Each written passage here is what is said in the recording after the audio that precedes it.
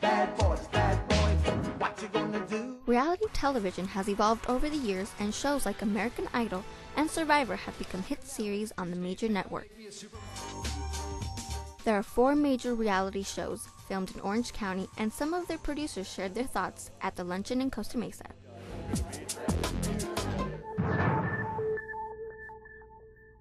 Like you guys take care of everything else?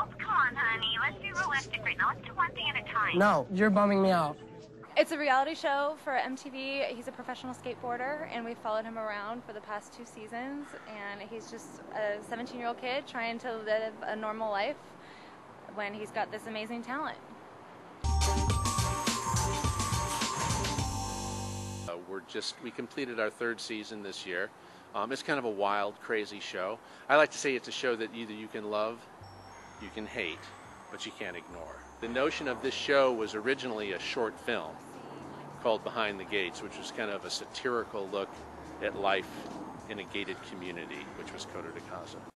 Orange County Film Commissioner Janice Arrington was also present. The film commissioner is actually in place in every county in the state of California and most states and most parts of the world for economic development.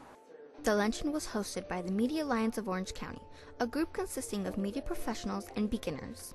It's been around for a number of years. Its goal is really to promote the whole industry in Orange County, to, as they say, lift all boats. My future goal is to make a lot of money. No, I'm just kidding.